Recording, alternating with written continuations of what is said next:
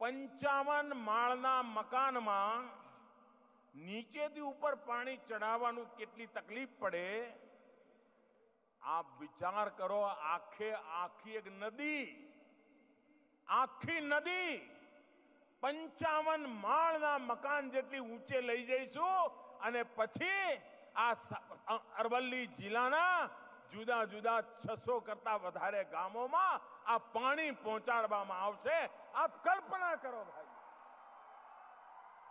આ માત્ર રૂપિયા પૈસાનો ખેલ નથી આ ભગીરથ પ્રયાસ આ ભગીરથ મહેનત ગુજરાતની આવતી કાલ સુનિશ્ચિત કરવા માટે છે સમૃદ્ધ કરવા માટે છે ગુજરાતનો કિસાન બે પાંદડે થાય ગુજરાતની માતાઓ બહેનોને પાંચ પાંચ કિલોમીટર પાણીના બેડલા લઈને જવું ન પડે.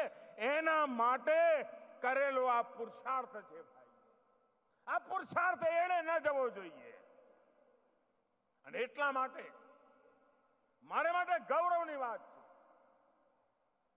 કે આનંદીબેને જે કામની શરૂઆત કરી, વિજયભાઈએ જે કામને આગળ ધપાવ્યું, એ કામના લોકાર્પણ માટે આજે અરવલ્લી કુખમાં આવીને આ ધરતીને નમન કરવાનો મને અવસર મળ્યો.